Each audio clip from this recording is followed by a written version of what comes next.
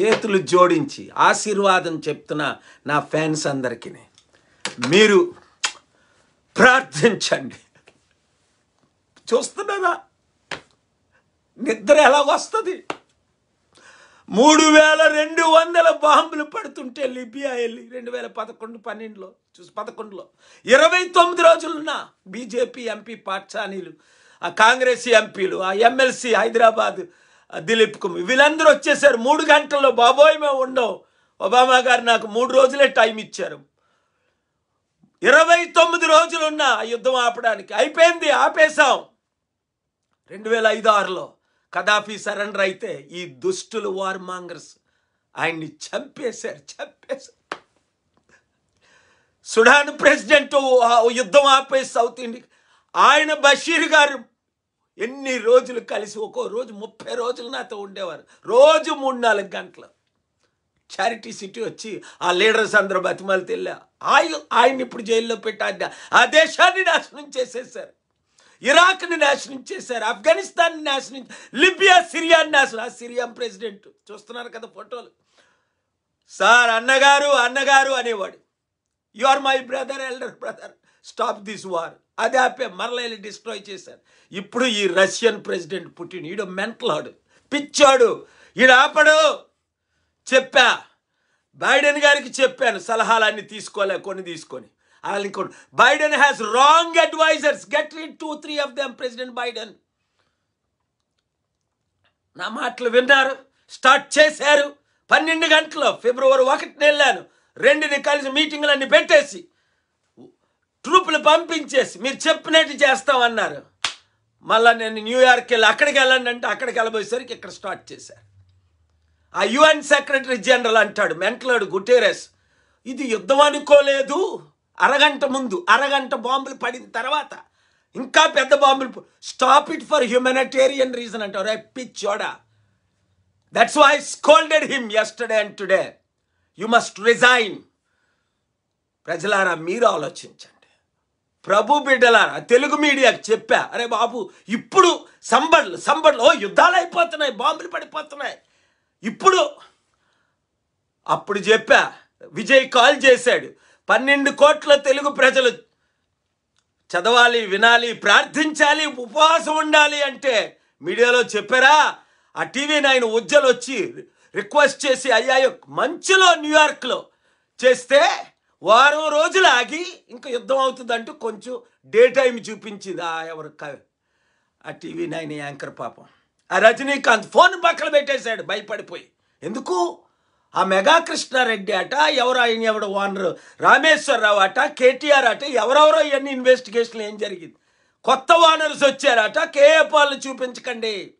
ఒరే నన్ను కాదురా చూపించడం దుష్టులారా దుర్మ. మీ కుటుంబాలు నాశనం అయిపోతారా యుద్ధం వస్తున్నప్పుడు యుద్ధం ఆపాలని చూపించొద్దా? ప్రపంచ శాంతి దూత నన్ను పిలిచారు కదా. నేను ఎలా ఒంటరిగా పోరాడతా? నాతో ఉన్న ఫ్యాన్స్ని రీచ్ అవ్వాలంటే ప్రార్థించాలంటే మీడియా మీడియా పని చేయొద్దా ఎన్టీడీ ప్రపంచంలో వంద మిలియన్లు బ్రాడ్కాస్ట్ చేసిన వాళ్ళు చూడండి ఎంత చక్కని ఇంటర్వ్యూ చేశారు. నేను హంగర్ స్ట్రైక్ చేస్తే. American New York based. NTD అది చూడండి ఈ ఈ ఈ పోస్ట్లో పెడతా రెండు మూడు నిమిషాల ఇంటర్వ్యూ చూడండి. ప్రపంచ శాంతి దూత ఇంటర్నేషనల్ పీస్ మేకర్ అని అమెరికన్ మీడియా చూపించినప్పుడు మన తెలుగు మీడియా చూపించొద్దా? పెట్టుకోకండి నాతో. మీరు ఎవరైనా సరే గుర్తించుకోండి వైఎస్ఆర్ సోనియా గాంధీ కాంగ్రెస్ ఏమైందో. నారే మోదీకి ఏమవుతుందో చూడండి. ఇప్పుడు పుటిన్కి ఏమవుతుందో చూడండి. ఏమవుద్దా? ప్రిజన్లో పెట్టిస్తా.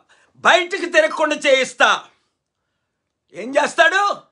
చెప్పిస్తే గుండె ఆగి చేస్తాడు నా సొంత అన్నయ్యే నన్ను చంపాలంటే దేవుడు క్షమించలేదు. ఆ దుష్టులు వాడుకొని చంపేసి. మా నాన్నగారు అన్నారు వద్దురా వైఎస్ఆర్ పోయాడు ఐదుగురు బోర్డు మెంబర్లు పోయారు. ఏడుగురు చెప్పించాడు ఏడుగురులో నువ్వు ఒక్కడవే మిగిలావు. డిసెంబర్ ఇరవై ఐదు ఇరవై మూడు. రెండు వేల తొమ్మిది చివరికి జనవరి పదిని ఆయన కూడా పోయాడు. పోతావని మా తండ్రి గారు బ్రతుకున్నారు వెళ్ళి మీడియా ఇంటర్వ్యూ చేయండి మా తండ్రిని. నా కో నా అక్క న్యూజెర్సీలో ఉన్న ఇంటర్వ్యూ చేయండి. దేవునికి విరుద్ధంగా శాంతికి విరుద్ధంగా మంచికి విరుద్ధంగా నీతికి విరుద్ధంగా యుద్ధ సామాగ్రి అమ్ముకోవడం కొరకు అమెరికా ఈరోజు నాశనం అయిపోవడానికి కారణం చైనాకి ఏంటి?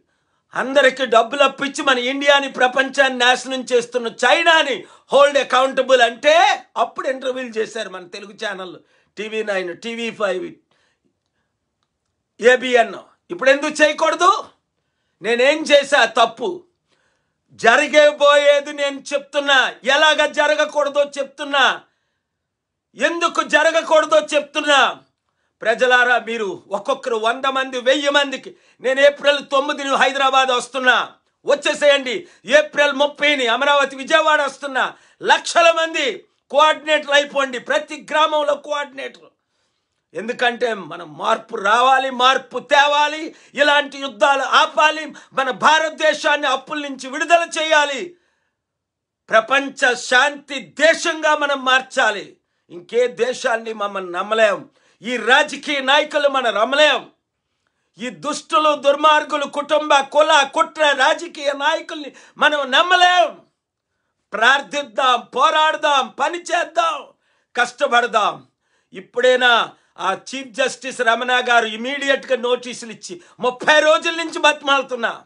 ఒక్క నోటీస్ ఇవ్వండి యుద్ధం అయిపోద్ది ఎందుకు? అది చట్టం. సెక్షన్ థర్టీ ఫైవ్ చట్టం కాన్స్టిట్యూషన్లో ఉంది. మరి ఇన్ భారతీయులు వేలు వేలు మంది ఉన్నారు లక్షల మంది ఉన్నారు యుక్రెయిన్లో. ఇప్పుడు మోదీ మాట్లాడతాడు. ఇప్పుడు ఇప్పుడు తెలివి వచ్చిందా నీకు? అందుకే save India from Modi save India from this RSS BJP corrupt politicians అంటున్నా. ఎందుకంటున్నా? ఒక్కసారి ఆలోచించండి. స్వార్థం పక్కన పెట్టండి. ఒక్కసారి డెబ్బై ఏడు సంవత్సరాల తర్వాత కులం కుట్ర కుటుంబం పక్కన పెట్టండి. ఒక్కసారి. రాబోయే ఎలక్షన్లో అధికారం సంపాదించుకొని శాంతిని తెద్దాం అప్పులు తీర్చుదాం నిరుద్యోగ సమస్య తీర్చుదాం శాంతిని ప్రకటిద్దాం కుల మత ప్రాంతాలు భేదాలు పక్కన పెట్టేద్దాం.